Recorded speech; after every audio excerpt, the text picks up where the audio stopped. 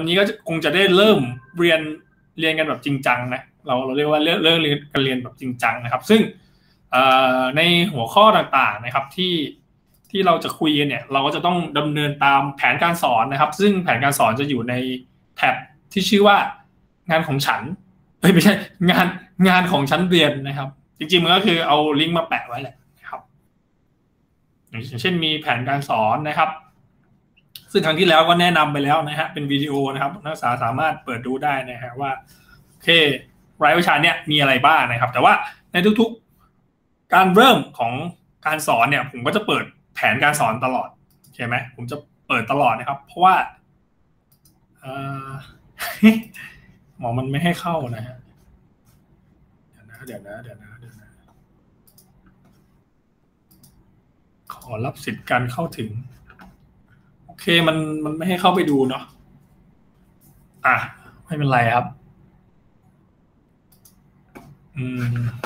เดี๋ยวผมต้องเปลี่ยนสิทธิ์มันทำไม่เป็นไร เดี๋ยวเดี๋ยวเราค่อยว่ากันนะฮะอ่าตรงนี้เดี๋ยวผม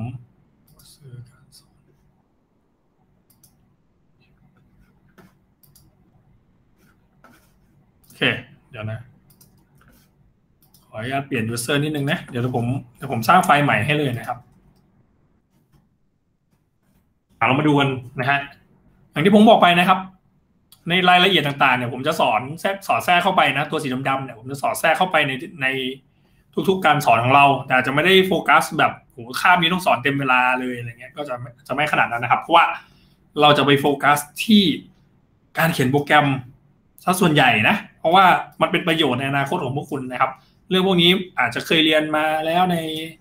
เขาเรียกว่าเรียนเรียนมาแล้วในมต้นนะครับมปลายอย่างเงี้ยแต่ว่าเรื่องการเขียนโปรแกรมแบบจริงจังเนี่ยคิดว่าน่าจะเป็นประโยชน์ต่อเราในอนาคตนะครับ เพราะว่า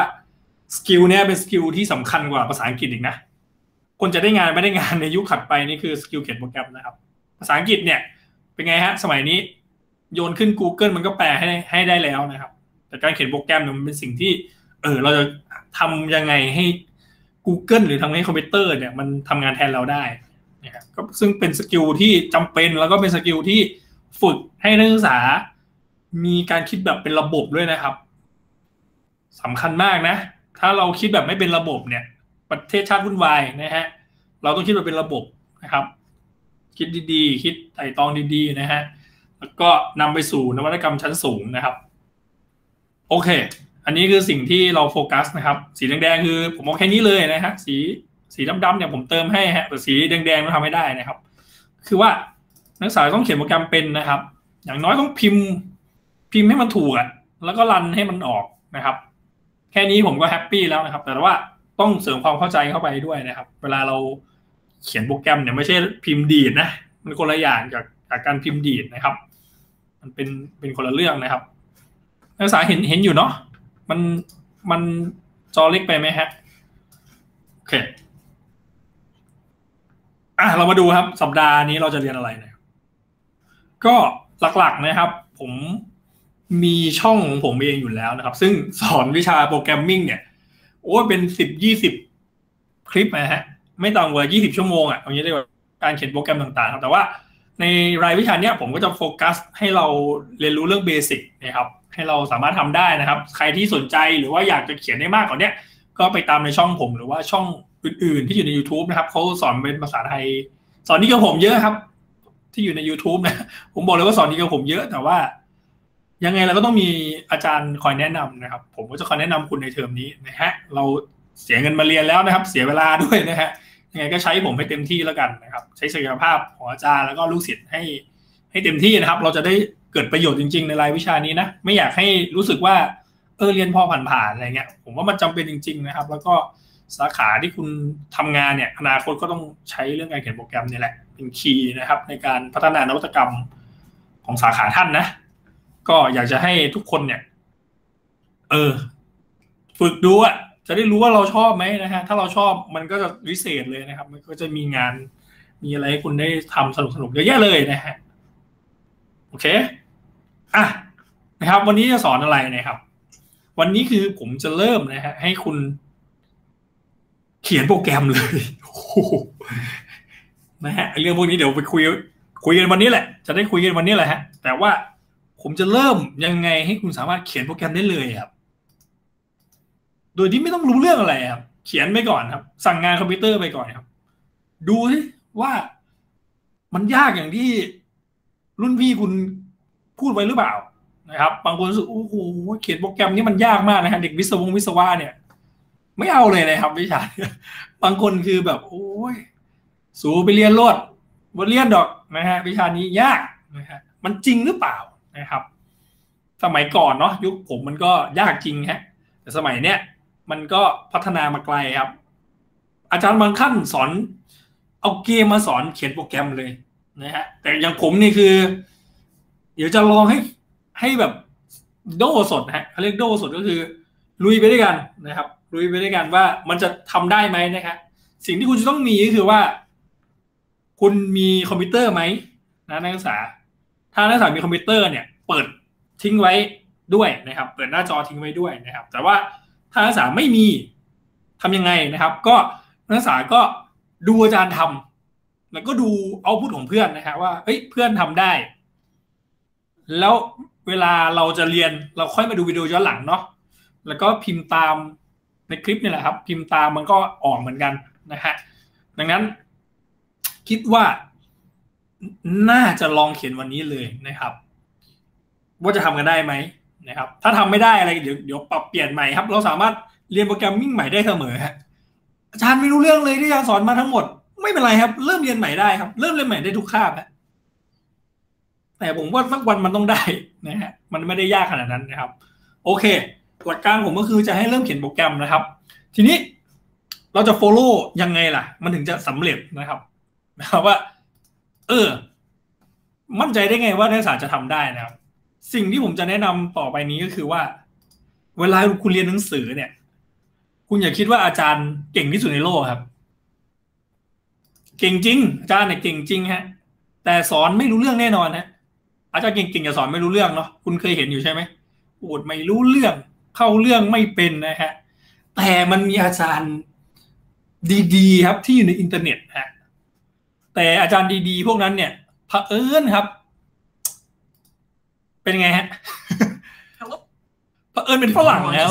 นักศึกษาเผอิญเผอิญเขาเป็นฝรั่งครับหนักเลยฮะ เขาเป็นฝรั่ง นักศึกษาฟังออกไหมฝรั่งเนี่ยให้ปล่อยนักศึกษาไปเรียนเมืองนอกนี่ไหวไหมครับนักศึกษาอ่าถ้าไหว ถ้านักศึกษาไหว โอ้เยี่ยมเลยครับ ดีเลยนะฮะ เข้าทางนะครับ แต่ว่าถ้านักศึกษาไม่ไหวนะครับ นักศึกษาก็มาเรียนเพร้อมผมนี่แหละ เดี๋ยวจะให้อาจารย์เขาเนี่ยเป็นคนสอน โอเคไหม ถามว่าผิดลิขสิทธิ์ไหม เอ่อก็ก็ผิดนะครับ การเอาเขาเรียกอะไรการเอาคลิปคนอื่นมาสอนโชว์เนี่ย มันผิดลิขสิทธิ์นะแต่ถ้าเราใช้ในการศึกษาไม่เป็นไรครับ แล้วก็ผมคิดว่าที่เขาสอนอะ มันดีมากครับเออมันดีมากอย่างนั้นนักศึกษา ผมมีคลิปหนึ่งนะ ที่อยากจะให้นักศึกษาเรียนนะครับ ก็คือว่าคลิปชื่อว่า Python Tutorial for Beginners นะฮะ ช้เวลาเรียนห้าชั่วโมงครับ ในการเรียน ถ้านักศึกษาฟังภาษาอังกฤษออกนักศึกษาไปเรียนมาสอบเอา A ไปเลย ถ้านักศึกษาเรียนไหว ดีไหมเรียนตามเขาห้าชั่วโมงครับเอา A ไปเลยนะฮะแต่ถ้าไม่ไหวครับ ไม่ไหวค่อยๆเรียนไปกับผมนะครับ เรียนไปพร้อมกับเพื่อนนะครับ แต่เทคนิคการสอนอาจจะไม่เหมือนกันนะครับ ผมแค่เอา content เขามาลองใช้ดูเฉยๆนะฮะแล้วเราจะได้ solution ของเราเองนะเวลามีโจทย์มีอะไรอาจจะเป็นโจทย์ที่เราที่เราใช้เองครับ วิธีที่ผมแนะนำก็คือ เรียนกับคนที่เขาสอนดีๆครับ เก่งๆ แล้วมีผู้ช่วยคือผมเนี่ยแหละคือผู้ช่วยนะฮะผู้ช่วยจบด็อกเตอร์เนี่ยมาช่วยเหลือพวกคุณนะครับ คอยแนะนำคอยตบๆ ให้มันเข้าที่เข้าทาง โอเคไหมเราจะได้มาตรฐานระดับโลกนะครับ ระดับโลกนะ ไม่ใช่ระดับอบตแถวนี้นะ เราก็ใช้วิธีการแบบนี้แล้วกันนะครับโอเคในเนื้อหานะฮะ ครบเลยครับ เยอะ เยอะด้วย ไม่ใช่ครบเฉยเยอะกว่าที่จะสอนนะอ่า จนถึงการทำโปรเจกต์เลยนะฮะ การใช้สเปซชีตการททำ API เนี่ยเดี๋ยวบุญจะได้ไปทำในตอนคุณไปทำโปรเจกต์นะครับ แต่ว่า ในที่เนี้ยเรียนเบสิกก่อนนะครับ เรียนว่าอ๋อมันเป็นแบบนี้เว้ยมันไม่ได้ยากนะฮะเปลี่ยน attitude นะครับ วิชานี้คือเปลี่ยน attitude ว่า เรียนได้ทุกคนเรียนได้อย่าซีเรียสนักศึกษาเรียนได้ทุกคน แต่ต้องค่อยๆเป็นค่อยไปทำตามสเต็ปนะฮะชีวิตก็จะได้ดีขึ้น โอเคไหมโอเคไหมโอเค เอาแหละนะฮะ เราก็จะ introduction อะไร follow อะไรตามที่คุณครูนะฮะเขาสอนนะฮะคุณครูนานาเขาสอนนะครับ ครั้งที่แล้วเรียนกับครูอีกคนหนึ่งครั้งนี้เดี๋ยวเรียนกับครูนานานะครับทีนี้คำถามก็คือว่า เนี่ยสัญลักษณ์เนี้ยนะฮะสัญลักษณ์เนี้ยเขาเรียกว่าสัญลักษณ์ไพทอนรู้จักไหมฮะรู้จักสัญลักษณ์ไพทอนไหมก็คือ อ่าถ้าสมมติว่าเราเซิร์ชคำว่าไพทอนนะครับนักศึกษา มันจะขึ้นเป็นภาษานะ มันจะไม่ขึ้นเป็นงูนะ มันจะไม่มีงูโผล่มาเลยนะครับมันน้อยมากนะครับ ที่จะเป็นงูเนี่ยน้อยมากนะฮะไพทอนนี่เป็นงูนะฮะ จริงถามว่าเป็นงูได้ไหมไพทอนก็คือไพทอนนะสเน็กก็คือสเน็กมันคนละอย่างกันนะฮะอะก็จะเป็นรูปงูนะครับ ขดสองตัวเนี้ยเขาเรียกไพทอนนะครับ นี่คือสัญลักษณ์ของมัน ทีนี้คำถามก็คือว่า แล้วไอ้ตัวเนี้ยทำไมถึงควรเรียนนะครับโอเคไหมทำไมถึงควรเรียนครับ ก็คือว่าสมัยเนี้ยดีควายของการเขียนโปรแกรมนะครับ ที่จะมีงานทำเป็นภาษาสมัยใหม่นะที่จะมีงานทำเนี่ยเขาเรียกว่าเป็นที่ต้องการแล้วกันนะครับ คือภาษาเก่าๆอะมันมีคนเขียนเยอะเป็นเยอะแล้วครับ แต่ว่าไอ้ที่ที่ต้องการเนี่ย คือภาษาที่ชื่อว่า Python ครับ มีถึงสามสิบเปอร์เซ็นที่เขาต้องการทำไม Python หนึ่งดีเดี๋ยวเราค่อยว่ากันนะครับ แต่ว่าตอนนี้ภาษาที่บริษัทเทคโนโลยีต้องการก็คือภาษา Python ครับ และงานที่คุณจะไปทำในอนาคต ก็คิดว่าน่าจะรันด้วยภาษา Python เหมือนกันนะครับซึ่งในภาษาเนี่ยมันก็จะมีหลายตัวครับ อย่างเช่น นักศึกษาสนใจภาษา JavaScript ภาษา Go ภาษา TypeScript อะไรเงี้ยไอ้พวกนี้ผมก็สอนก็มีสอนกันแต่ว่าให้เราไปโฟกัสที่ตัว Python เลยแล้วกันนะครับถ้าเรา มันเหมาะกับผู้เรียนใหม่ด้วยนะครับ ตัว Python นะฮะซึ่งถามว่ามันเหมาะเอาไปทำอะไรบ้างนะครับ คอร์สนี้โหดมากนะ เขาบอกว่า Python เนี่ย ไปทำเว็บได้ครับ ปกติเรียนเขียนโปรแกรมเขาจะไม่สนใจเรื่องเว็บนะ แต่เขาบอกว่า เฮ้ย Python เนี่ย มันเอาไปทำเป็นเว็บก็ได้เขาเรียกว่าเว็บ development นะฮะเป็นอาชีพที่ได้เงินเดือนประมาณ ถ้าเป็นเว็บ development น่าจะสี่ห้าหมื่นครับนักศึกษาถ้านักศึกษามาเรียนวิทย์คมเนี่ย จบไปจะได้ประมาณอะขั้นต่ำมาสองหมื่นนะครับ ถ้าเป็น Python ด้วยนะฮะก็จะสี่ห้าหมื่นรายได้ดีนะครับคำถามคือจำเป็นต้องจบวิทคอมไหมถึงไปเป็น web developer ได้ ก็ไม่จำเป็นนะฮะจบอะไรเขาก็รับหมดนะฮะถ้าทำเป็นโอเคไหมเราอาจจะเฮ้ยไม่มีงานทำว่ะ มาลองเขียนโปรแกรมดูนะฮะก็จะได้เงินเดือนมากกว่าที่เราคิดไว้ซะอีกนะครับโหดไปกว่านั้นครับ อันนี้คือสายผมฮะ เรียกว่า Python เหมาะกับ Data Science นะฮะ Data Science คืออะไรนะครับ ก็คือปัจจุบันเนี่ย โลกเราเนี่ยมีข้อมูลจำนวนมากนะครับ คนก็เลยคิดว่าเฮ้ยข้อมูลเนี่ยมันน่าจะเอามาสร้างให้เกิดประโยชน์ได้ เขาก็เลยคิดวิชาที่ว่า Data Science ขึ้นมาโดยการเอาข้อมูลมานะครับเช่น ข้อมูลโควิด อย่างเงี้ยถ่ายรูปภาพแล้วรู้เลยว่าคนนี้เป็นโควิดกี่เปอร์เซ็นต์อะไรเงี้ยนะครับหรือว่า ดูพฤติกรรมนี้ว่าเฮ้ยตอนเนี้ยวัคซีนเนี่ยมันทำงานยังไงนะฮะมันควรจะต้องเพิ่มอะไรอย่างเงี้ยเขาเรียก Data Science ครับเป็นเดือนนะฮะหลักแสนนะครับผม Data Science หลักแสนนะฮะ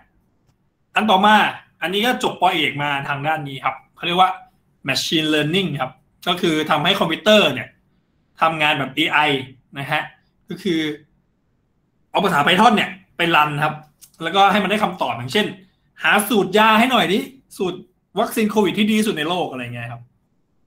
ก็ใช้ Machine Learning ได้นะครับ หรือพยากรพยากรณ์นู่นนี่นั่นนะฮะบิตคงบิตคอยเนี่ยใช้ Machine Learning พยากรณ์ได้นะฮะอันนี้ก็เงินเดือนก็หลักแสนเหมือนกันนะครับ ถ้าสองตัวนี้รวมกันเนี่ยก็ โอ้ job หนึ่งก็หลายล้านนะฮะเราพูดเป็นหลักล้าน อาจารย์ก็หลักล้าน อาจารย์ที่หน้าโง่ๆที่คุณเห็นเนี่ยนะฮะสอนโง่ๆเนี่ย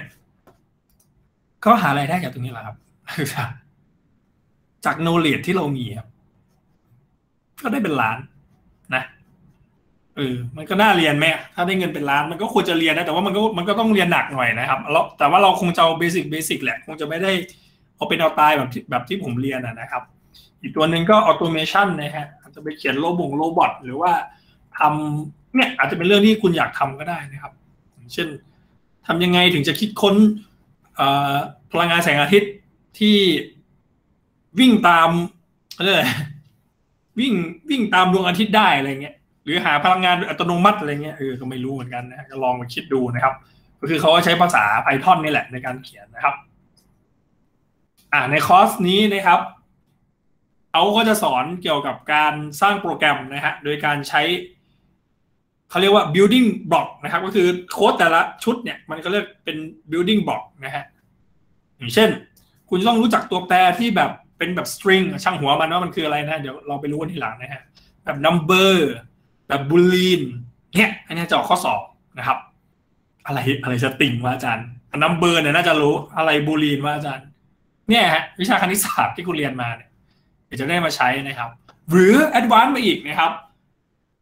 ข้อมูลในโลกใบนี้มันไม่มีมันไม่ได้มีแค่ตัวเดียวใช่ไหมมันมีแบบเยอะๆนะฮะแบบเวลาขนทีก็มาเป็นกล่องเลยอะไรเงี้ยนะครับ มันก็จะมีข้อมูลชนิดใหม่ๆ ที่เกิดขึ้นครับ อย่างเช่นข้อมูล list ข้อมูล set ข้อมูล dictionary นะครับ มันก็จะมีหน้าตาที่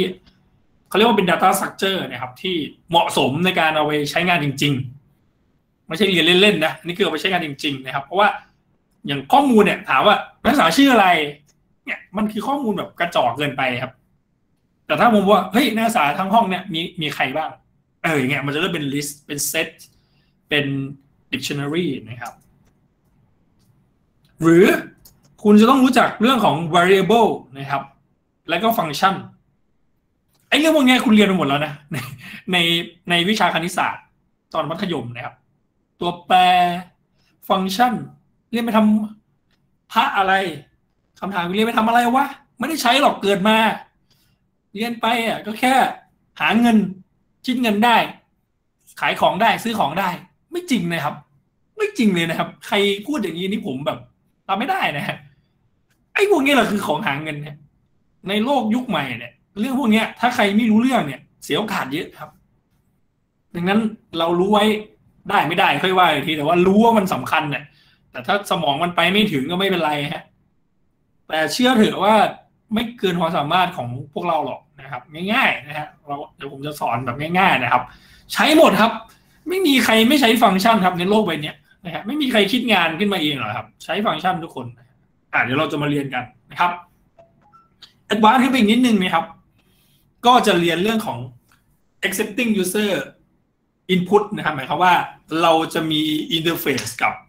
ผู้ใช้ด้วยนะครับเช่น อะกรอกตัวเลขเข้าไปคำนวณให้หน่อยอะไรเงี้ยเป็นแบบทำสนุกสนุกนะครับเขาเรียกว่า user interface นะครับ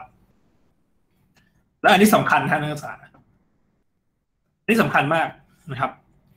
ตรงนี้ไม่เท่าไหร่ ตรงนี้สำคัญเขาเรียกว่า conditionals นะฮะ if กับ else จำไว้เลยครับสองคำนี้ นี่แหละ คนจะได้ A ได้ B จะอยู่ที่สองคำนี้แหละฮะสองคำสั้นๆ แต่ตัดเกรดคนได้ฮะ ได้เรื่องนี้เมื่อไหร่ ชีวิตสบายครับ เขียนโปรแกรมระดับปริญญาเอกก็ใช้อยู่แค่นี้แหละ if else เนี่ยแหละก็ลองดูนะครับว่ามันจะออกมาในรูปแบบยังไงหน้าตายังไงนะฮะตรงนี้อาจจะไม่โฟกัสนะครับเรียกว่า error handling with try and accept นะครับเพราะบางทีบางอย่างมันอาจจะมี error อะไรเงี้ยเราไม่อยากให้โปรแกรมมันพังนะครับ มันก็ต้องใช้เรื่อง try แล้วก็ exception นะครับ ก็ไม่ไม่ไม่สอนนะอันนี้อันนี้ไม่สอน แต่ก็ถ้าเราดูดูไปเราก็พิมพ์ตามได้ครับโอเคเรื่องสุดท้ายนี่ครับ อันนี้ก็โคตรสำคัญเลยนะฮะมนุษย์เราเป็นคนขี้เกียจครับ ดังนั้นความขี้เกียจของเราจะใช้สิ่งที่เรียกว่า looping นะฮะหรือการใช้ for loop while loop เนี่ยนะฮะ for กับ while เนี่ยจำไว้เลยอ่าจำอะไรบ้างนะครับหนึ่ง string number boolean จดไปเลยฮะออกข้อสอบ คืออะไรเอออันนี้อันนี้ข้อสอบให้ฟรีนะครับ risk คืออะไร variable คืออะไรฟังก์ชันคืออะไรนะครับ if คืออะไร else คืออะไร for คืออะไร why คืออะไร ได้แล้วครับสิบคะแนน ข้อสอบมิดเทอมออกหน้านี้เลยสิบคะแนนนะครับ เนี่ยแหละ เราก็ต้องไปเรียนรู้ครับว่าแต่ละตัวมันทำงานยังไงโอเคไหม นี่เราเพิ่งเรียนแค่หนึ่งนาทีนะครับเพิ่งหนึ่งนาที แต่ไม่เป็นไรครับ เราก็ค่อยๆเป็นค่อยๆไปนะครับ อ่า ในรูปแบบนี้มันก็จะแสดงแสดงในรูปแบบของ coding นะครับเห็นไหมก็จะได้ฝึกเขียนโค้ดกันนะครับ อย่างที่สองนะฮะเรียกว่าโมดูลนะครับโมดูลก็คือฟังก์ชันที่มีคนคิดไว้แล้วนะครับ อืมก็คือมีคนคิดไปแล้วเรียกใช้ได้ หรือ เขียนโมดูลขึ้นมาเองนะครับ เพื่อให้เพื่อนใช้ ก็อาจจะไม่ขนาดนี้นะครับ แต่อันนี้ได้ใช้แน่นอน use built-in Python module ครับ ก็คือใช้โมดูลของ Python ครับ เพราะว่าเราไม่ต้องเขียนโปรแกรมเอง เราใช้โมดูลคนอื่น จบเลยนะฮะ ชีวิตง่ายเลยนะครับ พอจะเข้าใจอยู่ใช่ไหมอ่า แล้วเขาก็ ทำโปรเจกต์ฮะก็จะมีโปรเจกต์เล็ก ๆ นะครับ ให้เราลองพิมพ์ดูนะครับ อาจจะขึ้นอยู่ที่คอนโซลอย่างเงี้ย ว่าเฮ้ยถ้าเราจะพิมพ์นู่นพิมพ์นี่เนี่ย เราจะทำยังไงจะแยก Data ยังไงนะครับเห็นไหมฮะ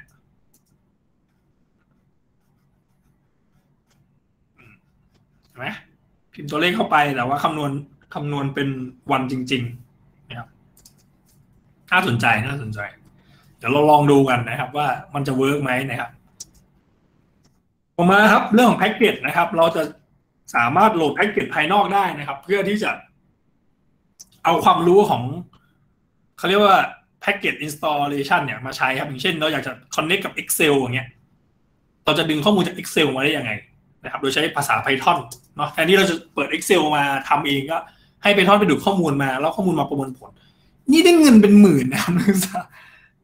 ทำแค่เนี้ยมีคนจ้างล้านเปอร์เซ็นต์ล้านเปอร์เซ็นต์ด้วย ได้เงินไม่ต่ำกว่าสองหมื่นทำแค่เนี้ยที่ผมพูดพูดอยู่เนี่ย มันมีจริง ๆ นะครับ มันได้เงินจริง ๆ นะฮะ ที่สอนสอนอยู่เนี่ย ถ้าเราทำก็เดี๋ยวฝากงานนะครับ แล้วก็ advance มาอีกครับ ก็คือว่าเรื่องของ OOP นะครับ class and objects นะครับ อันนี้ก็ advance ไปอีก แต่ว่าภาษา Python เป็นภาษาตัว OOP นะ แต่ว่าเราเราคงไม่ได้เจาะลึกครับ เพราะว่าในวิทคอมก็จะเรียนอันเนี้ยแบบเจาะเป็นวิชาหนึ่งเลยนะฮะเราก็เรียนพอคร่าวๆแล้วกัน อย่าไปซีเรียสนะครับ ก็โฟกัสอย่างอย่างที่ผมบอกไปนั่นแหละนะครับก็คือเขียนโปรแกรมเป็นรันโปรแกรมเป็น ทุกอย่างจบเลยนะครับโอเค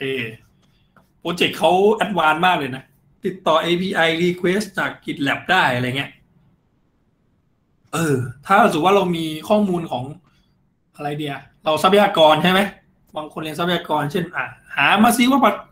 ว่าเราสามารถค้นหาพื้นที่นาในประเทศไทยได้มีกี่ไร่อะไรเงี้ยนะครับมันก็จะมี API ที่บอกว่า เออพื้นที่นามันอยู่ตรงไหนบ้าง หรือมีต้นไม้อยู่กี่ต้นอะไรเงี้ย มันมีนะฮะ ข้อมูลพวกนี้เดี๋ยวเราก็มาลองว่างๆอาจจะมาลองเล่นกันดูนะครับเห็นไหมฮะความพิเศษของมัน โอเคนะฮะ ทีนี้เราจะมาเริ่มกัน นะครับเราจะมาเริ่มกันก็คือว่า introduction นะฮะว่าทำไมต้องเรียน Python นั่นเองนะครับ เรา Python คืออะไร มีมีใครสงสัยไหมฮะ เราจะเรียนแค่ประมาณสามสิบเปอร์เซ็นของเขาแล้วกันนะสามสิบเปอร์เซ็นของเขาแล้วก็ ก็จะค่อยๆอธิบายไปเรื่อยๆนะครับ เท่าที่เราจะไหวโอเคไหมเรียนแค่สามสิบเปอร์เซ็นต์ฮะห้าชั่วโมงอาจจะเหลือแค่สองชั่วโมง แต่ว่าเราจะใช้ เวลาเรียนหลายสัปดาห์ ก็ไม่เป็นไรครับ ก็ค่อยๆทำเดี๋ยวจะพาทำนะ โอเค ถ้าเราดูนะครับ ภาษา Python เนี่ยเขาเรียกว่าเป็นภาษา programming language นะครับสองภาษานี้ก็มีฮะ อันนี้ก็เป็นภาษายอดฮิตครับ ชื่อว่า Java นะฮะ Java อันนี้ก็ยอดฮิตเหมือนกัน อันนี้ก็ Java เหมือนกันแต่ชื่อว่า JavaScript นะฮะ เป็นภาษาที่อยู่บนเว็บเว็บไซต์เนี่ยแหละที่เราเล่นกันเนี่ยจะเขียนด้วยภาษา JavaScript นะครับ ส่วนใหญ่ อ่าแล้วเราก็ แล้วเราก็รู้สึกว่า เฮ้ยถ้าเราต้องมาเรียน Java นะครับ กับมาเรียน Python เนี่ย ลองดูสิเราอยากจะเรียนแบบไหนนะครับ โจทย์ที่เราได้มาก็คือว่าหนึ่งมันควรจะ easy to learn ครับ easy to learn คือง่าย จะเรียนก็แบบง่ายๆในอาจารย์ อย่าเรียนยาก อย่าพิมพ์เยอะเมื่อย เมื่อยมือนะครับ เอาดูง่าย ๆ ครับนักศึกษาถ้าทำงานเหมือนกันเนี่ยพิมพ์คำว่า hello world เหมือนกันครับสองภาษานี้ทำงานได้เหมือนกัน แต่ถามถามถาม ถามเอ่อนาริสลาฮะนาริสลาอยู่ไหมฮะนาริสลาค่ะ เนี่ย เห็นเห็นสองตัวนี้ใช่ไหมฮะ เห็น Java กับ Python ใช่ไหมครับนักศึกษา ค่ะ ถ้าให้นักศึกษาพิมพ์เนี่ยอยากจะพิมพ์ฝั่งซ้ายหรือฝั่งขวาครับ ขวาค่ะ เออ โอเค เยี่ยมเลยนะฮะ ขอบคุณมากครับ มันก็ต้องฝั่งขวาอยู่แล้วนะครับ เพราะว่าหนึ่งมันพิมพ์สั้น โอเคไหมสองคือ มันเข้าใจด้วย จะให้มันสอนอะไรวะเนี่ยอย่างเงี้ยอย่างเงี้ยอย่างเงี้ยฮะสอนอะไรวะ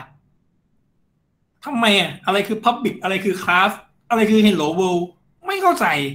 อะไรคือ Void อะไรคือ Main งงไปหมดเลยครับ แล้วก็มาบอก System Print อะไร เอาโอ้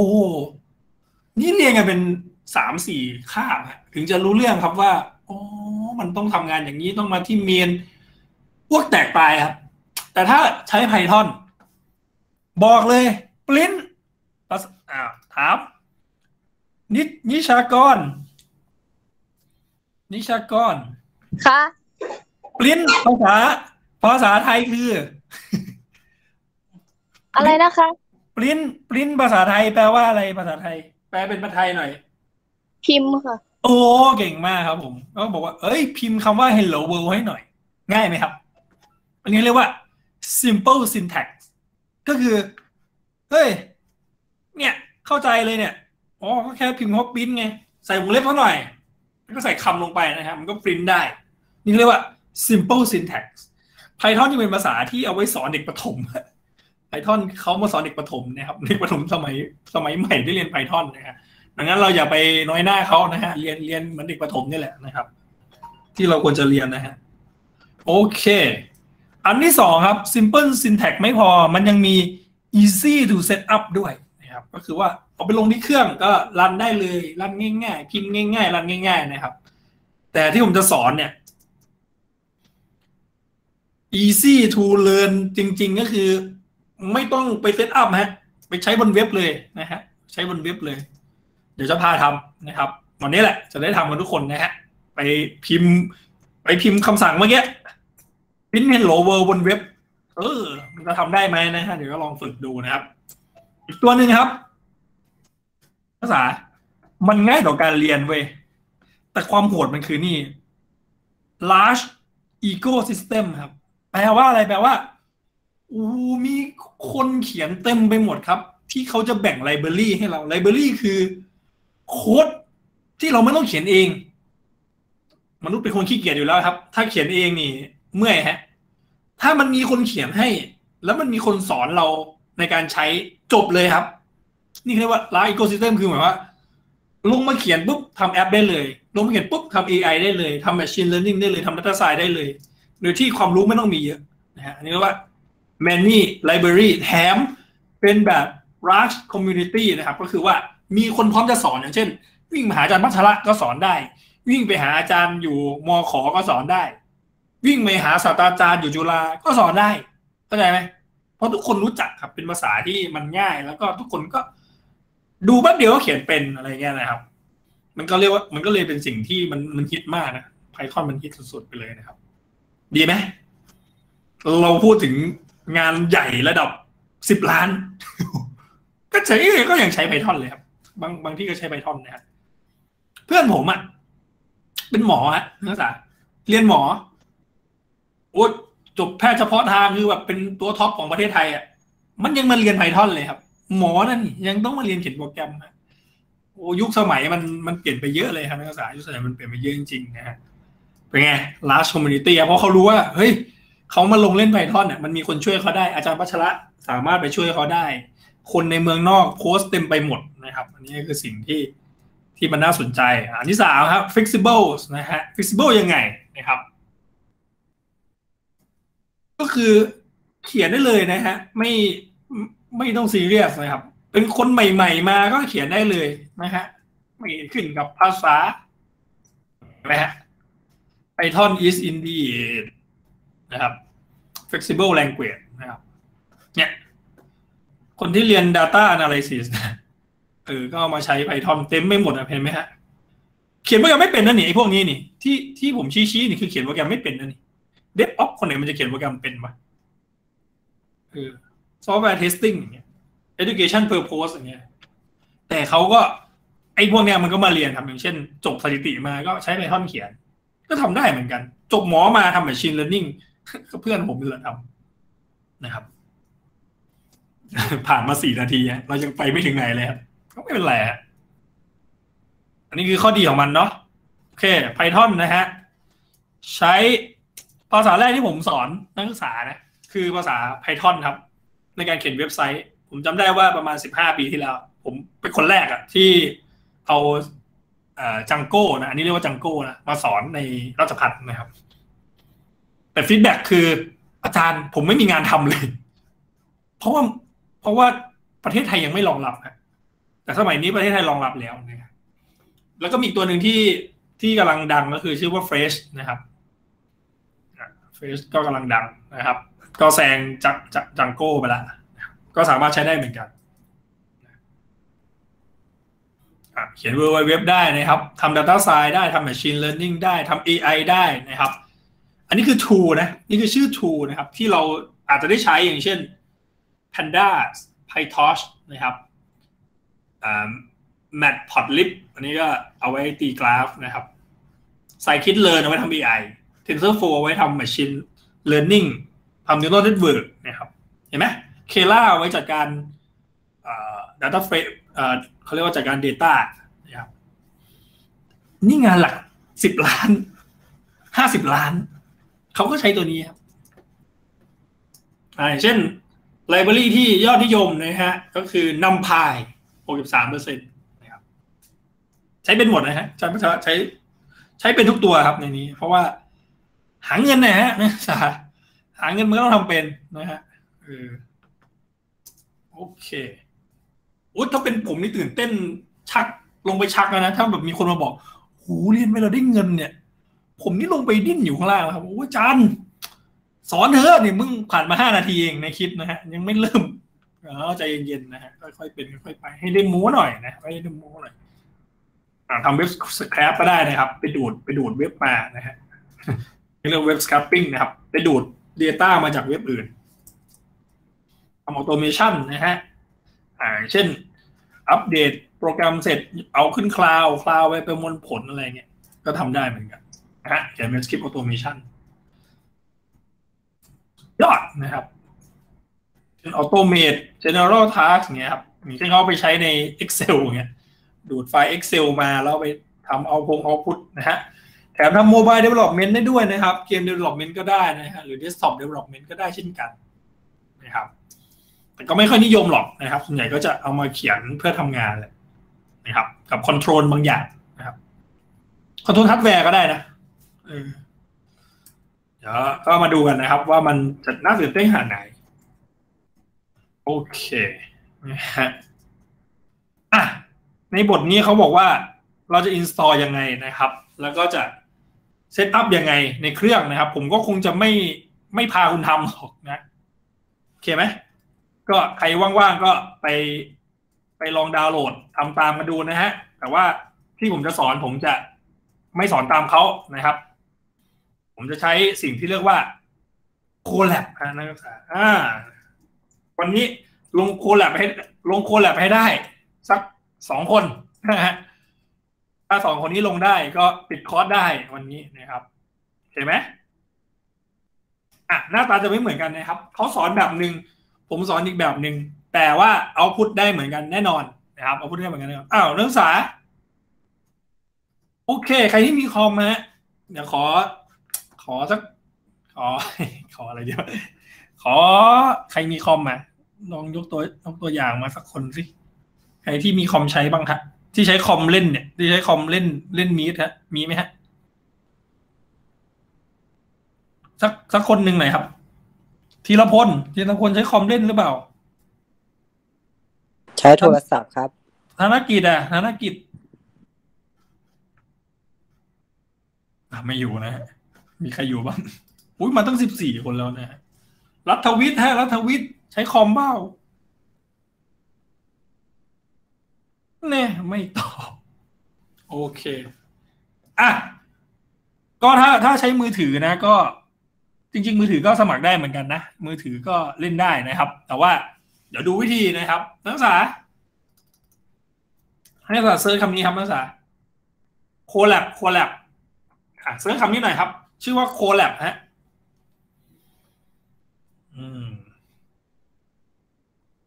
Colab นะฮะ ก็คือเป็น web-based ที่เขียนโปรแกรมได้ว่ะ ความโหดมันคือเขียนโปรแกรมได้ จริงๆกูสามารถใช้ใช้ อย่างเงี้ย ถ้าปกติผมผมเขียนผมก็ Python อะไรเงี้ยฮะหรือ Py ไม่ใช่ Python มันลงมันลงไว้ในเครื่องอยู่แล้วครับอย่างเช่น Python สามสามอ่าเดี๋ยวนักศึกษาดูนะ อันนี้คือมันลงไว้ในเครื่องนะครับคุณสามารถที่จะใช้เครื่องเนี่ยพิมพ์เอานะครับ เนี่ยมันจะพิมพ์เป็นเป็นภาษา เช่น print hello world เนี่ยมันมันจะพิมพ์ได้ครับเห็นไหมฮะแต่ว่าสงสารเด็กเด็กเพราะว่าเด็กอาจจะไม่มีคอมเล่นนะฮะผมก็เลยไปใช้โคแลบแล้วกันนะครับ วิธีการคือเข้าเว็บโคแลบนะครับ พิมพ์คำว่าโคแลบนะฮะแค่นี้เลยนะฮะง่ายๆโคแลบนักศึกษาจะเห็นลิงก์เอาลิงก์นี้แล้วกัน ลิงก์ที่ชื่อว่า collab.research.google.com ตรงนี้ครับอ๋อเดี๋ยวผมขอใช้ user ของราชพัฒนะ ใช้ user ของราชพัฒในการในการเข้า collab นะครับ มันจะได้จะได้เห็นนะอะพิมพ์ว่า collab นะครับ เข้าเนี่ยเนี่ย collab ขีด Google เนี่ย คลิกหนึ่งครั้งครับ ตอนนี้ user ผมเป็นเป็น at imu นะ เราใช้ at imu แล้วกันนะครับ คลิกแค่หนึ่งครั้งครับ ก็จะเข้ามาที่คอมพิวเตอร์ที่ Google สร้างให้เราครับ อันนี้คือเรียกว่า virtual machine นะฮะ virtual machine คืออะไรคืออันเนี้ยก็คือเนี่ยเรามีเครื่อง อันนี้คือเครื่องเราครับ แต่เผอิญมาอยู่ในในหน้าเว็บฮะในหน้านี้มันก็จะสอนครับวิธีใช้งานอะไรเงี้ยนะครับว่าจะพิมพ์โค้ดยังไงจะ run โค้ดยังไงอะเดี๋ยวเราจะมาแนะนำมันอีกทีนึงนะครับ เนี่ยจะใช้ในข้อมูลวิทยาศาสตร์ยังไง Machine มี Machine Learning ด้วยนะครับ ใช้ Machine Learning นะฮะแล้วก็ไปใช้ฮาร์ดแวร์ของ Google ไม่ได้ใช้เครื่องคอมนะฮะไปรันบนคลาวใน Google ครับ มันก็รันโปรแกรมได้เหมือนกันอะ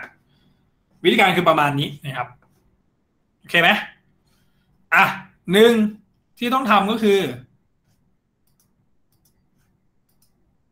เริ่มนะฮะเริ่มก็คือนักศึกษาเข้ามาเข้ามาที่ที่เว็บนี้เนาะ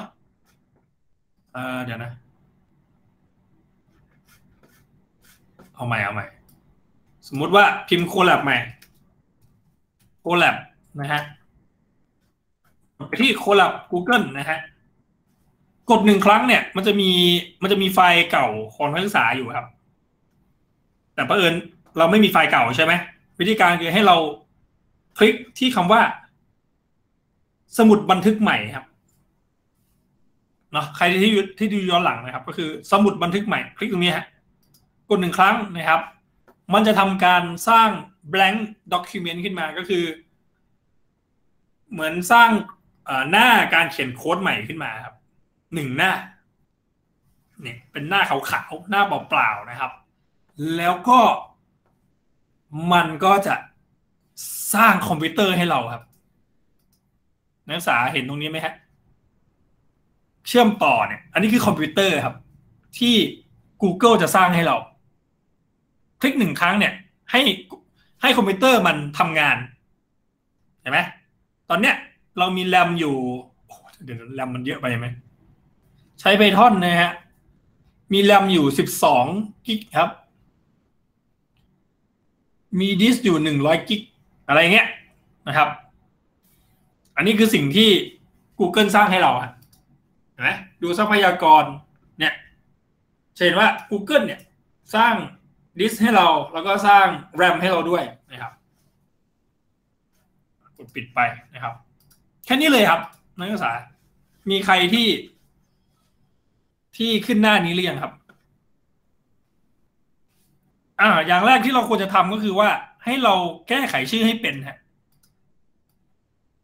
อันนี้มันไม่ได้รันด้วย Python เนาะแต่ว่าเดี๋ยวมันก็จะใช้ภาษา Python ในการเขียนเนี่ยแหละแต่มันไม่ได้รันด้วย Python นะเขาเรียกว่าเป็นโน้ตบุ๊กนะครับ เดี๋ยวค่อยว่ากัน อะวิธีการเปลี่ยนชื่อครับ ให้สามมาคลิกตรงนี้ตรงชื่อนะฮะอันไตเติลตรงนี้นะครับ เปลี่ยนชื่ออย่างเช่น day one enter นะครับ day one ก็คือเรียนวันแรกนะฮะ day one เนี่ยแล้วถ้านักศึกษาจะเขียนโปรแกรมอะไรก็ให้เขียนผ่านทางบล็อกโค้ดตรงนี้นะครับอะมีใครที่พอที่จะ บอกได้ไหมว่าทำได้แล้วสักคนหนึ่งเลยนะฮะให้คะแนนด้วยอะให้คะแนนด้วยมีมีใครเข้า Colab แล้วก็สามารถสร้างไฟล์ชื่อว่า day one ได้แล้วบ้างครับเงียบกริบนะฮะไม่มีคอมกันเหรอเออถ้าว่างๆก็อาจจะเออไปยืมคอมนะฮะ แล้วก็เข้าเว็บดูเนาะโอเคไหมไอ้ participate ไหนเว้ย ทำมาหากินไหนทำมาหากินไหนเยอะเยอะเยอะเอาลองเข้าในมือถือก็ได้ฮะลองดูครับ ลองดูโอเคอ้าวหนึ่งเข้ามาเอาย้อนนะฮะ เข้ามาเปลี่ยนชื่อไฟล์นะครับ อย่าลืมคอนเน็กเครื่องกดตรงนี้นะฮะ เชื่อมต่อนะครับ ให้ Google มันสร้างคอมพิวเตอร์ให้นะครับ รู้จักแรมอยู่ใช่ไหมแรมก็คือหน่วยความจำเครื่องนะครับดิสก็คือคอนเทนต์ของเราอะไฟล์คอนเทนต์ของเรานะครับ ที่ที่เราใส่เข้าไปนะครับอ้าวเริ่มนะฮะเริ่มคือให้เราเขียนโปรแกรมครับ คือพิมพ์คำว่า hello world ให้ได้นะครับ อย่างที่บอกไปเมื่อกี้ครับก็คือว่าถ้าเราอยากจะพิมพ์ hello world เราก็ใช้ syntax ของภาษา Python ใช่ไหมครับ ก็คือ print เราพูดด้วยภาษาคน เราบอกว่าเฮ้ย print นะฮะเห็นไหมผมพิมพ์ pr เข้าไป ยังไม่ทันพิมพ์คาว่า print เลยครับ มันขึ้นคำว่าอะไรขึ้นมาแล้วครับ มีสองตัวคือ print กับ property นะฮะผมพิมพ์ p ตัวเดียว มันก็มีให้เลือกครับ จะใช้ฟังก์ชัน pass หรือใช้ ฟังก์ชัน pow หรือใช้ฟังก์ชัน print หรือจะดู property มันก็จะมีสัญลักษณ์เห็นไหมมีความหมายนะครับสัญลักษณ์นี้มีความหมาย แต่เราช่างหัวนะเราจำเราจำว่าเฮ้ย print ว่ะ อาจารย์พัชระบอกให้ print พิมพ์ตัว p รู้จักตัว p ใช่ไหมตัว p ก็คือขวาขวาบนนะฮะ ตัว p นะฮะอยู่ใต้เลขศูนย์นะครับ ต้องสอนขนาดนี้ไหมหาเจออยู่แล้ว ทันไหมทันไหมเออเอ้ยเอ้ยส่งเสียงหน่อยส่งเสียงหน่อยว้ยทันไหมทันไหมก็คือตัว P นะครับ พิมพ์ตัว P หนึ่งครั้งนะฮะให้มันขึ้นคำว่า print มากด print นะฮะเรารู้ว่ามันคือฟังก์ชัน ฟังก์ชันต้องใส่เครื่องหมายวงเล็บช่างหัวมันครับ ใส่วงเล็บไปก่อนผมบอกให้ใส่อะไรก็ใส่ไปก่อนอย่าเพิ่งไปซีเรียสนะครับโอเคไหมกดรันดู กดรัน วิธีการรันให้กดปุ่ม play ตรงนี้นะครับ หรือกด control enter ก็ได้นะครับ มันจะเป็นการเรียกใช้บล็อกเนี้ยในการรันนะครับ แล้วก็จะมีเอาพูดออกมานะครับเห็นว่ามันปิ้นช่องว่างออกมาเห็นไหมฮะ มันปิ้นช่องว่างออกมาอ่าผมลองลบดูครับ ผมปิ้นคำว่าปริ้นไม่เห็นแล้วผมกด enter ฮะ command enter ครับ มันก็จะปริ้นฟังก์ชันปริ้นออกมา มันก็คือไม่ทำงานนะฮะ ก็คือแสดงฟังก์ชันเฉยๆนะครับ วิธีการให้มันทำงานก็คือใส่วงเล็บเข้าไปฮะตามด้วย string คำแรกมาแล้วนะครับ string string คือชุดข้อความครับ ที่อยู่ภายใต้เครื่องหมาย double quote เครื่องหมายคำพูดนั่นเองนะครับ หรือ quote อย่างนี้ก็ได้ หรือจะ double quote ก็ได้นะฮะอยู่ใกล้ๆ enter นะครับ ตัวอักษรอยู่ใกล้ enter นะฮะ hello world มีเครื่องหมายตกใจด้วยนะ hello world รันดูครับ คุณก็จะเอาพุทที่ชื่อว่า hello world นะฮะ ออกมา จบคอร์สครับ วันนี้ ถ้าปริ้นออกมาได้อย่างนี้ happy แล้วนะฮะ แปลว่าเขียนโปรแกรมเป็นแล้ว สั่งงานคอมพิวเตอร์เป็นแล้วครับ คุณสั่งคอมพิวเตอร์ปริ้นคำว่า hello world ขึ้นมา ง่ายไหมอะนี่แหละครับ นี่คือสิ่งที่ เราจะบอกว่า เอ้ย ใครก็เรียนได้ครับ วิชานี้ไม่จำเป็นจะต้องจบมาจากไหนเรียนสูงขนาดไหนไม่ต้องนะใครก็เรียนทั้งนั้นนะฮะ วิชานี้คนเรียนเป็นล้านครับ เป็นล้านคนฮะคุณอย่าตกขบวนแล้วกันนะครับอะการบ้านนะฮะเออถ่ายรูปมา print hello world มาผมก็ happy แล้วโอเคอ่าปิ้นคำเนี้ย อ่า hello ชื่อตัวเองก็ได้อะ helloเอาเนี่ยง่ายๆฮะ ใส่ชื่อตัวเองเข้าไป จบนะฮะถือว่าผ่านคาบนี้นะครับเอาคะแนนไปเลยนะฮะโอเคอ่าอาจจะดูย้อนหลังก็ได้นะ เดี๋ยวเรายังไม่รีบเนาะเราไม่รีบเอาดูต่อครับ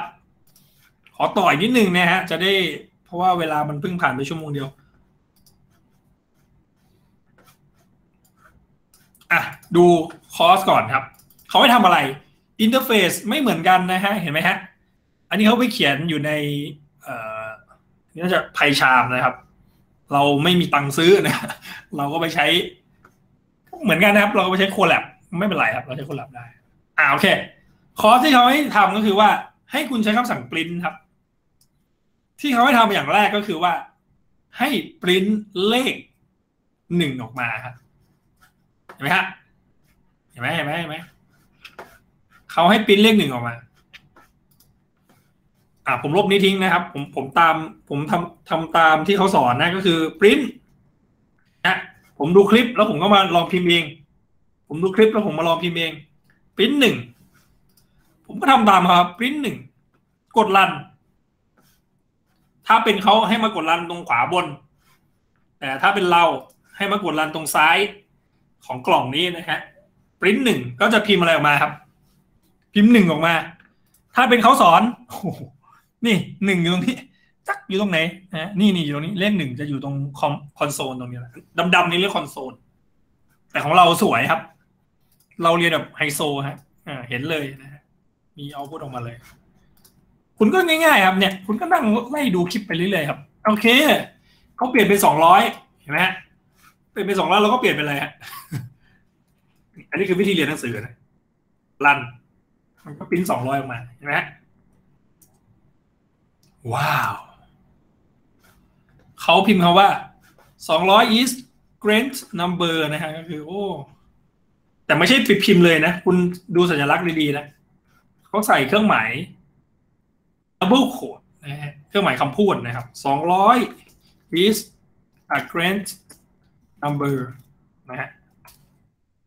มันก็จะพิมพ์เป็นคำเป็นสตริงออกมานะครับสตริงก็คือสัญลักษณ์หลายตัวอยู่ด้วยกันนะสองร้อย is a great number จริงไหมเห็นไหมฮะจะได้เหมือนกัน เหมือนกันเลย เราทำได้เหมือนกัน ก็นั่งดูไปเรื่อยๆครับ ไม่ต้องรู้เรื่องนะค่อยๆทำเออเลอร์บ้างผิดบ้าง ลืมวงเล็บบ้างลืมปีเออเครื่องหมายคำพูดบ้างก็ช่างมันก็จะไปซีเรียสนะฮะ เราวิธีการก็คือเราก็จะมาเขียนโค้ดแล้วเราก็จะรันดูผลอย่างเนี้ย ทั้งเทอมนะฮะทำแบบนี้ทั้งเทอมแต่ว่าโค้ดมันไม่ได้บรรทัดเดียวนะมันจะมันจะเหมือนเราเขียนหนังสืออะวันแรกก็เขียนได้แค่ตัวอักษรกอไก่ขอไข่ใช่ไหมข้างหลังมาก็จะต้องพิมพ์ให้มันทำงานได้นะครับ นี่เขาจะสอนวิธีการ save ไฟล์เนาะเราเราอาจจะไม่เหมือนเขาครับ เราขอให้ output ออกก็โอเคแล้วนะครับอย่างเงี้ยเขา save เป็น .py นะครับ สามารถใช้วิมได้วิมก็คือไปแก้โค้ด ไปแก้โค้ดอยู่ใน มันโหดมากครับไปแก้โค้ดอยู่ใน terminal ได้นะครับ ถ้าใครทำเป็นก็ดีนะฮะทำไม่เป็นก็ไม่เป็นไรนะครับวิธีการ test นะครับ ให้ใช้คำสั่ง python 3 นะฮะตามด้วยชื่อไฟล์ชื่อว่า test.py แต่เราไม่ต้องทำฮะเพราะเราเพราะเราทำใน interactive python notebook นะครับ เออ interaction นะฮะ python notebook หรือ interactive อะจำไม่ได้นะ มันก็ง่ายกว่าใช่ไหมเขียนโค้ดเขียนตรงนี้นะฮะ อันนี้คือ save ไฟล์ก็ save ได้เหมือนกันนะฮะในในตัวเมื่อกี้ก็เซฟได้เหมือนกัน อันนี้คือ execute content นะครับ เขียนโค้ดตรงนี้ save ไฟล์ตรงนี้นะฮะ แล้วก็เอ่อ output คือตรงสีเขียวตรงนี้นะครับ ของเราก็คือเขียนโค้ดตรงนี้ เราเขียนโค้ดตรงนี้นะครับ ไฟล์อยู่ตรงนี้ ไฟล์อยู่ตรงนี้ ไฟล์อยู่ตรงนี้ แล้วก็เอาพุทอยู่ตรงนี้ใช่ไหมสีเขียวตรงนี้นะครับเรียบร้อยนะฮะอ่าเขาก็สอนอีกคำหนึ่งครับ อันนี้เอาข้อสอบเหมือนกันนักศึกษา จดไว้เลยครับ ไม่ถามว่ามันคืออะไรแต่ย่อมาจากอะไรครับ ก็คือ integrated development environment นะฮะก็คือว่า เปิดโปรแกรมเดียวสามารถทำงานได้ทั้งหมดนะครับ integrate ทุกอย่างทั้ง editor ทั้งไฟล์ management ทั้ง output นะฮะเรียกว่า IDE นะฮะก็คือมีโปรแกรมเดียวพัฒนาโปรแกรมได้เลยนะครับนี่นิยมมากนะนี่นิยมมากนะครับ ข้อดีของ IDE ก็คือหนึ่งเช็ค error ให้เราได้เลยนะครับ โดยที่เราไม่ต้องรัน เรียกว่า on the file error checking นะก็คือว่าพิมพ์ผิดปุ๊บเนี่ยมันมันจะเนี่ยเนี่ยเดี๋ยวเดี๋ยวลองดูนะฮะเช่นผมลืมวงเล็บอย่างเงี้ยครับอ้าวไม่ไม่ไม่ขึ้นเว้ยอ่าเนี่ย อันนี้จะไม่ขึ้นนะฮะต้องมาลองรันเอง อ่าน้องก็จะบอกว่าเนี่ย ผิดตรงนี้เห็นไหมมันจะขีดเส้นใต้ให้ ผิดอะไรอ่าโอเค หาไม่เจอนะครับ หาปิดกราปิดไม่เจออะไร เอ้ยวงเล็บปิดไม่เจอ หรือ code completion นะครับ ก็คือ auto complete นะเขาเรียก auto complete ก็คือเนี่ยฮะแทนที่จะต้องมาพิมพ์ print เองก็กด p ตัวเดียวมันก็ขึ้นมาเลยนะ print อย่างเงี้ยนี่เรียก auto complete นะครับ หรือ completion code completion นะครับ ตอนนี้คุณก็สามารถที่ใช้ IDE นะครับในการเรียนได้แล้วนะครับเรียกว่า Smart Assistant with IDE and IDE นะครับก็คือ โอเคใช้ PyCharm เราก็จะใช้ CodeLab ในการรันนะฮะง่ายไหมจบละคอร์สวันนี้ เนี่ยฮะคอร์สวันนี้เรียนไปสิบเก้านาทีครับสิบเก้านาทีแถมรัดอีกต่างหากนะครับ โอเค จริงๆ เราควรจะต้องรู้เรื่อง string กับ number ด้วยนะ ในการเรียนนะครับ เรายังไหวอยู่ไหมครับ หรือเราบอก เดี๋ยวไปลองอยู่บ้านก่อนจานไม่ทัน หรือเราจะซัดเลยโซโล่ไปเลยอ้าวขอชื่อหน่อยเดี๋ยวเรียกชื่อเรียกชื่อดาดาที่นี่ยังไหวอยู่ยังไหวอยู่ไหมหรือว่าอาจารย์เดี๋ยวไปลองทำอยู่บ้านก่อน ค่อยเรียนข้ามหน้า ยังไงก็ได้ค่ะดูเหนื่อยยังครับเหนื่อยยังอ่าเดี๋ยวถาม เดี๋ยวถามคนที่ยังไม่เช็คชื่อแล้วกันนะ สุพินยาลัตน์อ่าเราเราคุยเล่นๆกันนะครับ เราอย่าไปคุยไหวไหมเรียนเรียนไหวไหมฮะ ต่อไหวไหมหรือว่าเอาแค่นี้อาจารย์เหนื่อยแล้วมันนี้แค่นี้ใช่ไหมเหนื่อยแล้วนะฮะเอาสหรัฐมาพอดีนะฮะสหรัฐ ครับสวัสดีครับ คิดคิดว่าจะกลับไปทำได้ไหมฮะทำการบ้านได้ไหมครับ สหรัฐผมคิดว่าได้ครับฟังเราผมผมเพิ่งเข้ามาครับอาจารย์ผมจะไปทำได้ยังไงอะมันมีวิดีโอย้อนหลังเนาะเดี๋ยวเดี๋ยวจะโพสต์วิดีโอย้อนหลังนะฮะให้ให้นะครับครับผมครับอะขอบผมคิคุดณคว่ารับผมผมคิดว่า เดี๋ยวเรา เราลอง ลองทำการบ้านดูนะครับ นะฮะก็คือว่า ให้ให้คุณไปเปิดโคแลบเนาะง่ายๆแล้วกันนะ เปิดโคแลบนะฮะ แล้วก็พิมพ์อ่าพิมพ์ตามนี้นะฮะทำได้แล้วครับ โอ้ย ไหนขอดูหน่อยแอร์หน้าจอให้ดูหน่อยเดี๋ยวให้เอไปเลยโอ้โห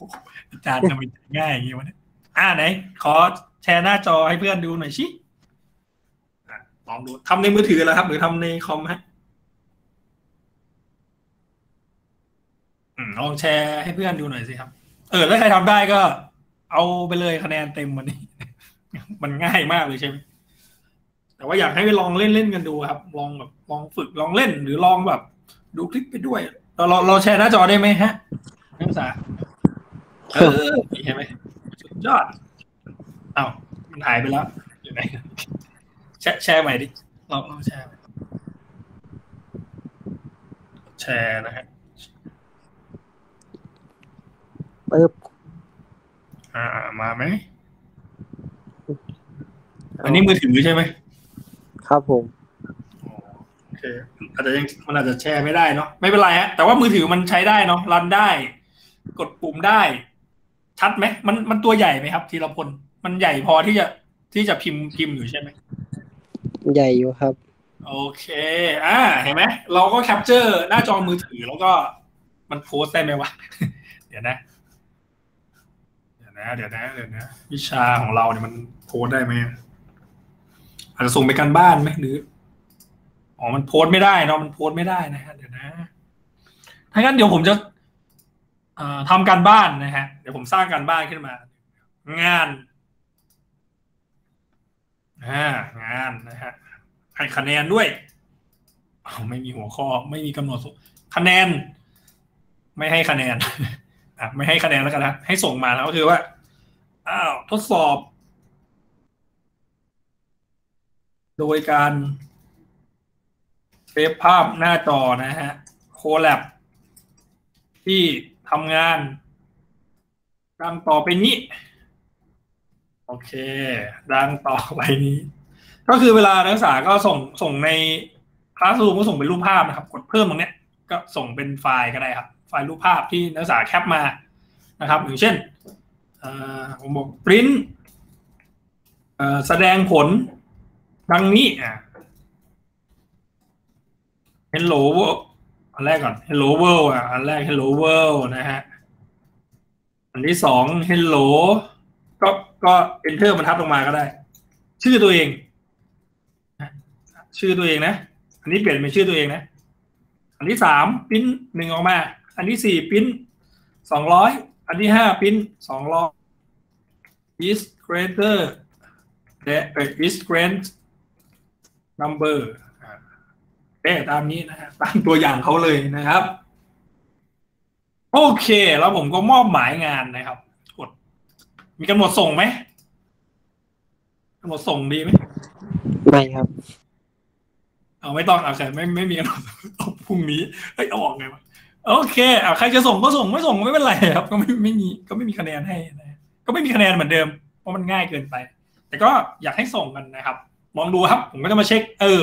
ถ้าปริ้นชื่อตัวเองได้ก็ happy นะฮะง่ายๆเลย อาจารย์คะครับผม ก็คืองานที่อาจารย์ให้ทำก็คือปริ้นชื่อตัวเองถ่ายรูปส่งแค่นั้นเหรอคะใช่ใช่ครับ ก็คือ print print print หน้าจอหน้าจอนี้ด้วยนะก็คือปริ้นทั้งหน้าจอเนี่ยครับ ที่มันที่มันมีคำตอบตรงเนี้ย มีโค้ดแล้วก็มีคำตอบตรงนี้เขาเข้าใจอยู่ใช่ไหมอย่างเช่นอะอันนี้ปริ้นอันหนึ่งเนี่ยเฉลยเฉลยเนี่ยก็ปริ้นไปอะตามโจทย์อะ print hello world print ยังไง print hello กับชื่อตัวเองยังไงปริ้นเลขหนึ่งยังไงปริ้นสองร้อยยังไง โอเคไหมแล้วก็ capture หน้าหน้าจอนี้มาส่งทำยังไงเมื่อกี้โอ้ยกูเปิดใหม่งงไหมฮะก็คือมันต้องเข้า Colab ได้อะ เออจะตรวจว่าเข้า Colab ได้แล้วเนี่ยมันก็จะมี user คุณอยู่ตรงนี้ อาจารย์คะครับผมแป๊บนึงนะคะได้ได้แชร์ก็ได้นะครับ แชร์อ๋อผมไม่ได้แชร์หน้าจอใช่ไหมเมื่อกี้โถเอ้แป๊บนี้ไหมคะอาจารย์เดี๋ยวนะเดี๋ยวนะเดี๋ยวนะเดี๋ยวนะเดี๋ยวนะเออใช่ครับ แล้วคุณก็ capture เลยครับ คุณก็ print screen อะ print screen รู้วิธีใช่ไหมรู้วิธีไหมเออเฮ้ยทำไมคุณฉลาดเลยวะเออนี่แหละนี่แหละแต่นัมเบอร์เขียนผิดนะเนี่ยนัมเบอร์เขียนผิดโอ้ยหนูลืมดูอ่าต้องเขียนให้ถูกมันอยู่ติดกันค่ะสองร้อยก็ผิดนะหนึ่งก็ไม่มีสองร้อยไม่เอาเป็นคำนะฮะสองร้อยเอาเป็นตัวเลขแค่ค่ะสองร้อยตัวเลขมันไม่ใช่ตัวเลขมันเป็นมันเป็นสตริงเห็นไหมมันมีแค่หมายคำพูดเห็นไหมอ่ามันไม่เหมือนกันนะเนี่ยแล้วเนี่ยไม่ให้หนูใส่อันนี้เหรอคะเนี่ยเนี่ยเนี่ยเนี่ยเดี๋ยวผมจะผมเดี๋ยวผมจะบอก มันจะมีคำสั่งไทยอะสองร้อย มันมันไม่เหมือนกันครับ อันอันนี้เดี๋ยวเดี๋ยวเดี๋ยวจะเรียนข้ามหน้าแต่ว่าทำให้ดูเฉยๆนะเช่นผมผมปริ้นไทยเนี่ยสองร้อยมันคือเป็นอินเห็นไหมฮะ แต่ถ้าผมปริ้นสองร้อยแบบที่คุณทำเมื่อกี้จะเป็นสตริงเห็นไหมเอ้ยทำไมกูมีสองคนเออมันมันไม่เหมือนกันเว้ยอาจารย์แชร์หน้าจอแชร์หน้าจอให้หน่อยค่ะโอ้ยลืมลืมลืมโอ้ยเสียใจเสียใจลืมอีกแล้วนะฮะ โอเคโอเคโอ้ยผมอุตส่าห์พิมพ์อย่างที่ อ่าดูนะครับ เห็นเห็นเห็นไหมฮะ เห็นเห็นกันใช่ไหมโอเค อันนี้คือการบ้านเนาะอันนี้ผมเขียนการบ้านนะครับ ก็คือว่าให้แสดง hello world hello แล้วก็ name คุณเองนะฮะแล้วก็หนึ่งแล้วก็สองร้อยแล้วก็สองร้อย is center number นะครับ ถ้านักศึกษาดูในโคแลบที่ผมทำเนี่ย ก็จะเห็นว่าสองร้อยกับสองร้อยตัวเนี้ยมันคนละตัวกันเห็นไหมฮะ สองร้อยตัวนี้สองร้อยตัวนี้คือเป็นอินทิเจอร์นะครับ แต่สองร้อยที่นักศึกษาทำเมื่อกี้มันเป็นสตริงเห็นไหมคนละเรื่องเลยนะสองค่านี้คือคนละเรื่องคนละโลกเลยนะปริ้นได้เหมือนกันแต่ว่าอะปริ้นปริ้นได้เหมือนกันแต่ว่าถูกงงไหมมันเป็น เนี่ยปริ้นสองร้อยได้เหมือนกันเว้ยแต่ไม่ถูกเว้ย เดี๋ยวจะสอนในคาบหน้าแล้วกันนะฮะก็ลองทำกันมาดูก่อนก็ได้ก็ไม่มีหักคะแนนหรอกครับ ก็เนี่ยส่งงานเนี่ยนะฮะก็คือหนึ่ง print hello world hello name name ก็คือใส่ชื่อตัวเองเข้าไปนะครับ แล้วก็อะไรอะแล้วก็หนึ่งสองร้อยนะฮะสองอะไรอย่างนี้ก็ได้ประมาณนี้นะฮะเพราะว่ามันต้องใส่สตริงเข้าไปด้วยแต่พวกนี้จริงก็เป็นสตริงหมดนะครับ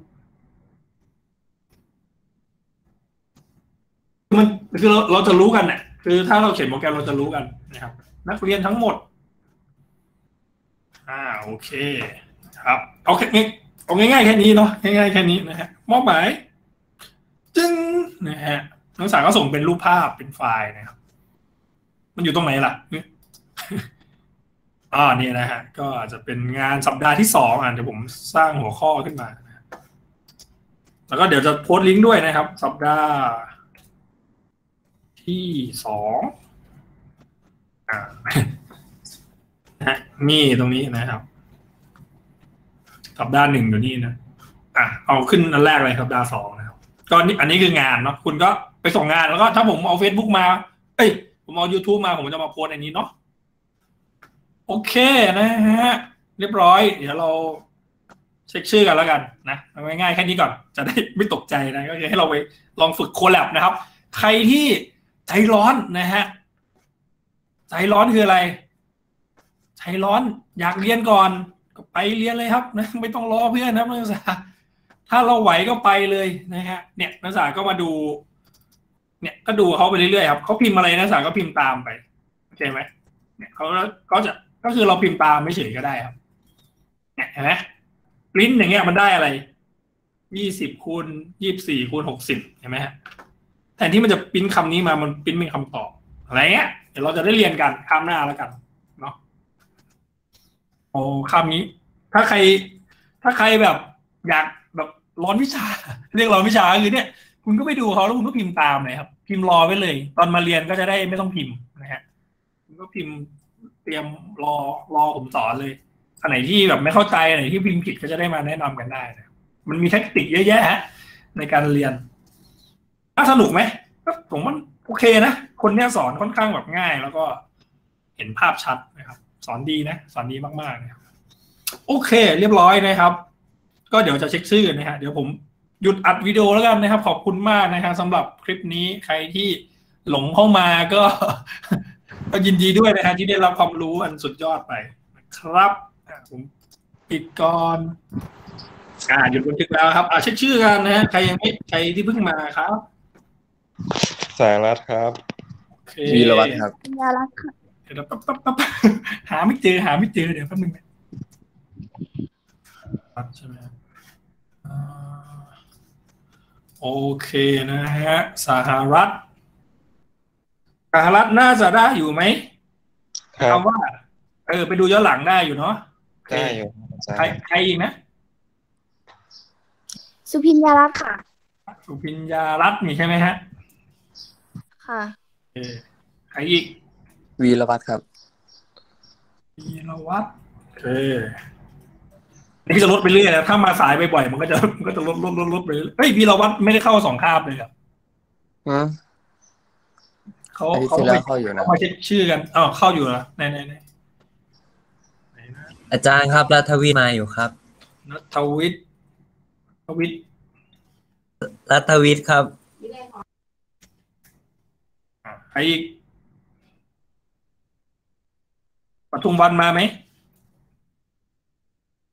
สุรพิชาชยามาไหมฮะค่ะอ๋อโอเคนัทสุดา เห็นเห็นหน้าจออยู่ใช่ไหมนักสุดาออกแล้วค่ะอ๋อลาออกแล้วเหรออุ้ยเสียดายจังลาออกแล้วเนาะอะผมจะได้ให้เป็นติดลบไปอุ้ยเสียดายเสียดายนะครับ จริงเรียนเถอเรียนคำๆเอามาแล้วเอาคลิปไปให้เขาดู ว้าวนะฮะ มาทุกคนเลยขาดบ้างไม่เป็นไรนะ อันนี้อันนี้ต้องเปลี่ยนใหม่ อันนี้ต้องเปลี่ยนสูตรใหม่นะเขาเขา if อันนี้เท่ากับลบหนึ่งอ่ามาแปดสิบแปดเปอร์เซ็นต์นะครับ เยอะมากนะ โอเค รียบร้อยนะครับ ก็อย่าลืมส่งกันบ้านด้วยนะคะนักศึกษา คิดว่าไหวไหมวิชานี้ถาม จริง ๆ ก็จริง ๆ สอนได้เยอะกว่านี้นะ แต่ว่าอยากอยากจะแบบค่อยๆเป็นทีละสเต็ปไปนะครับให้ให้มีเวลาไปลองเล่นด้วยตัวเองครับไหวไหวอยู่ใช่ไหมฮะ เรียนเรียนวันนี้ไหวไหมอ่าเดี๋ยวขออใครเดียลุงทิพย์ลุงทิพย์อยู่เปล่า เออไหวไหมคิดว่าน่าจะเรียนรอดไหมฮะ วิชานี้ไม่ค่ะ สบายโอเค ดีมากครับนิชนิชากร ค่ะ ไหวไหมสบาย ได้ค่ะ ได้โอ้โหมันมีแต่คนเก่งไหมไม่แต่พวกคุณเก่งใช้ได้อยู่นะใช่ไหมโอเคนะฮะเราเราพิมพ์ดีดกันเก่งไหมถามอ่าใครดีวะอ่ารัฐวิทย์รัฐวิทย์พิมพ์ดีดเก่งไหม อยู่เปล่าเอาวีรวัตรก็ได้อะวีรวัตรอยู่ไหมหมายถึงเครื่องพิมพ์ดีดนะครับหมายหมายถึงการพิมพ์อย่างเงี้ยฮะพิมพ์อ่าเดี๋ยวผมดูนะเดี๋ยวผมโชว์การพิมพ์ของผมก่อนนะครูครับอย่างเช่นเรารู้ว่าคีย์บอร์ดมันอยู่ตรงไหนอะไรอย่างนี้ภาษาอังกฤษเราเราพิมพ์เก่งไหมอ๋อก็เก่งครับเออก็อาจจะให้ไปฝึกพิมพ์ครับอย่างเช่นอย่างเงี้ยฮะเนี่ย ได้ยินเสียงอยู่ใช่ไหมได้ยินครับเออเนี่ยแหละฮะคือถ้าเราพิมพ์เก่งคือแบบนี้นะฮะไม่ถึงขั้นอาจารย์หรอกครับ อ่า แต่ว่าให้เรารู้ว่าตัวอักษรไหนอยู่ไหนอย่างนี้นะเนี่ยฮะนี่ให้เออเดี๋ยวให้เราไปเล่นนี้ดีกว่ามาอวดกันนะฮะว่าได้เท่าไหร่นะครับ แล้วก็เดี๋ยวพุเดี๋ยวข้ามหน้าจะมาดูนะฮะว่าแต่ละคนได้ความเร็วเท่าไหร่นะครับ ให้เข้า เว็บที่ชื่อว่า keybr.com นะครับนักศึกษาเออ ไปลองเล่นๆดูระหว่างไม่ได้เรียนนะฮะแบบเช็คดูว่า เฮ้ย เราเนี่ย รู้รู้จากตัวอักษรทั้งหมดในคีย์บอร์ดไหมนะฮะชื่อว่า keybr นะ ก็ลองเล่นดูครับ ความยากของมันก็คือ คุณจะต้องผ่านบททดสอบอันบ้าระห่ำนะฮะนี่อันบ้าระห่ำคืออย่างนี้ต้องอวดกัน เนี่ยฮะจะค่อยๆพิมพ์ทีละตัวเนี่ย e n i t r l อะไรเงี้ยครับค่อยๆฝึกไปเรื่อยๆครับ จนมันครบถึงตัว J ฮะเออเดี๋ยวเรามาอวดกันนะฮะอ่าอาทิตย์หน้าก็ลอง login ลอง sign in ด้วย Google ก็ได้ครับเนี่ย sign in ได้นะลองดูนะครับ จะได้รู้ว่า เออ มันพิมพ์ รอดไหมนะครับเพราะบางทีมันอาจจะต้องพิมพ์พิมพ์เร็วนิดนึงเรียนวิชานี้นะครับ จะได้แบบพิมพ์ทันอาจารย์อะไรเงี้ยนะครับก็แบบอยากให้ฝึกฝึกในมือถือก็ได้นะ คือเราเรียนเราเรียนรู้เลยเอาเฉยนะครับว่า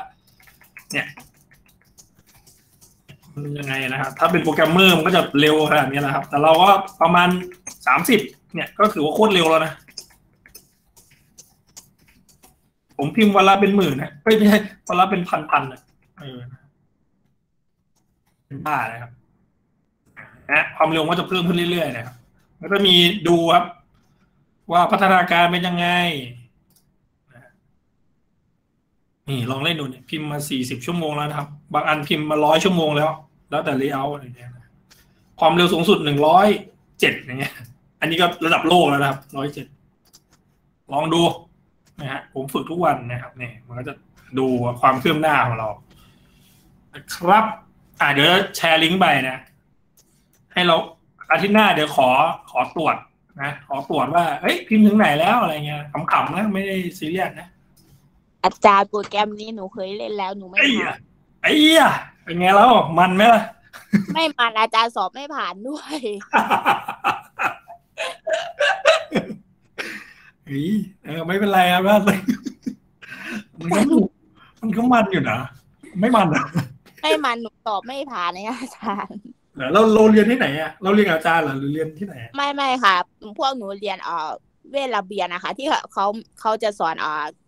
โอ้นี่แหละนะคะอาจารย์ก็เออ นี่มันต้องมันต้องพิมพ์อย่างนี้เลยก็ไม่เป็นไรครับ ก็ก็ลองฝึกดูแล้วกัน เล่นๆอะก็ฝึกให้ผ่านได้ไหมเทอมนี้ให้มันผ่านได้ไหมมันต้องมันต้องฝึกฝนจริงๆแหละเออมันฝึก ไม่แต่หนูฝเคยผ่านอยู่ แต่ว่าถ้าแบบนานๆไปมันจะไม่ผ่านแบบเนี้ยใช่ใช่ใช่ครับเออนี่แหละ หรือหรือไปอันนี้ก็ได้เออเอามีหลายตัวให้เราลองเล่นนะฮะเออเช่น type เอ่อในตัว type ในตัว type เข้า user ผมดีกว่าอันนี้ก็ได้ครับ ในในตัว type ในตัว type ก็คือแบบ ไปแข่งรถซิ่งไงฮะ แข่งรถซิ่งนะครับ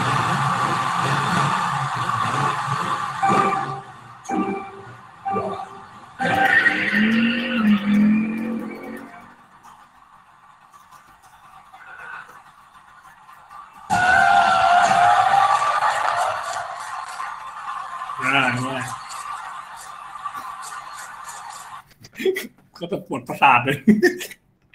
โอเค ครับลอง KBR หรือว่าในในตัวไทยก็ได้ เดี๋ยวผมเดี๋ยวผมโพสต์อ่าเดี๋ยวผมโพสต์ให้เลยนะฮะให้นักศึกษาลองไปเล่นขำๆนะฮะ ลองไปพิมพ์ ลองไปพิมพ์ขำๆมันจริงๆมันก็ไม่ขำนะ มันมันไม่ขำสักนิดเลย ไม่ขำเลยอาจารย์ใช่ มันจริงจังนะ มันจริงจัง แต่ว่าเฮ้ยแต่มันมีประโยชน์นะ ผมผมพิมพ์เร็วมากเพราะว่าไอ้ไอ้พวกนี้แหละนะฮะ ผมพิมพ์เร็วมากๆเลยนะครับ มันเป็นประโยชน์จริงนะการพิมพ์เร็วมันทำให้สมองมันต่อเนื่องอะฮะสมองเรามันจะแบบต่อเนื่องขึ้นนะมันสมองเรามันจะเร็วขึ้นนะอ่าลองดูสองสองแบบนี้นะตึ๊ดเดี๋ยวข้ามหน้าจะดู